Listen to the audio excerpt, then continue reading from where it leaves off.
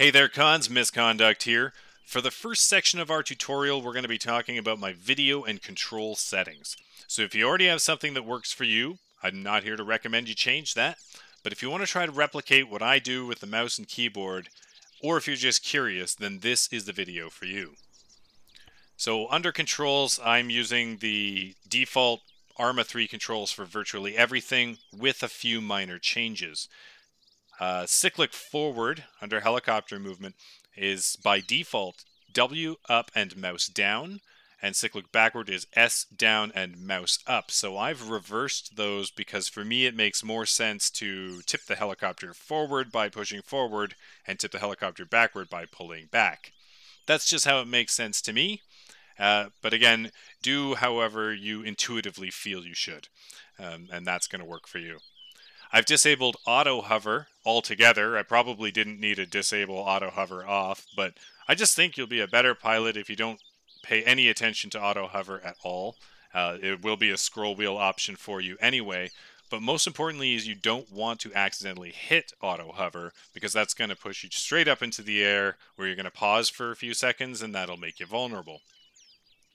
And on the note of buttons that you don't want to press by accident, I've disabled eject, which is by default double tap V. Um, that's an awful thing too to accidentally eject from your Pawnee when you were trying to change the rate of fire. That's uh, bad news, so disable that one as well. And again, that will also be a scroll wheel option for you. For mouse, I keep my sensitivity in the 10% range.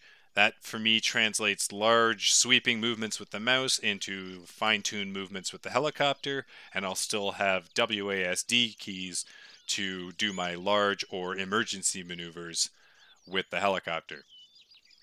Uh, on the note of the mouse, I'm using a Logitech G600 that has a keypad on the side and that allows me to map my default anti-torque left and right. Q and E are mapped onto there. I also have map on there, which allows me to pop in and out of the map very quickly, which is very useful for piloting because you don't want to spend a lot of time looking at the map while you're flying. I have numpad enter mapped onto there as well, so I can switch between first and third person very easily. And I also have scroll wheel option select between my anti-torques here and that allows me to obviously choose my scroll wheel options all very easily and relieving my left hand of all those issues and dividing them up and putting them onto my right hand gives me sort of a more a more balanced mouse and keyboard setup. Under video settings, I have everything on ultra or high or very high if I can. I'm running an i5 6600K and I'm running ARMA from a solid state drive. I'm, my GPU is a GTX 1060, and uh, all of that works out very well for me. I get uh, pretty good frames, and um, the uh, the overall setup seems to be capable of handling most of ARMA 3 scenarios. Uh, overall, and object distance settings are really going to matter more to the game mode that you're playing. So with King of the Hill, you're going to have player menu options. Um, if you're doing transport pilot with a hummingbird, which is what I mostly do, um, you might as well keep your uh, view distance really low to try to keep your FPS really high. And you might need to raise that for Pawnee use or any kind of long distance uh, use, you're going to want to change that as you see fit, but might as well keep it low if you have the ability to do so. For display settings, uh, I really don't change anything on this page. Um, so really just have a look if it matters to you.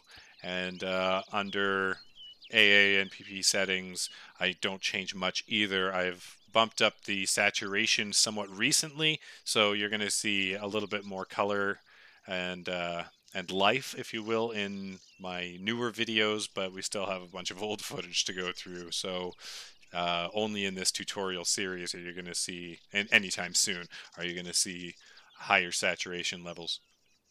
Um, the only thing that I would mention from here is um, if you're having that issue with your character's uh, border on their on your screen being blurry, that is your radial blur. You can drag that all the way down to zero, and that will no longer be a problem. And uh, on the note of random little glitchy things that happen, uh, if you're ever having the zoom in and out forced free look issue, that is simply solved by getting into the back seat of your vehicle and then back into the pilot or driver's seat, and that should at least temporarily fix that problem. Those are the video and control settings I have for you, and I will see you guys on the next segment.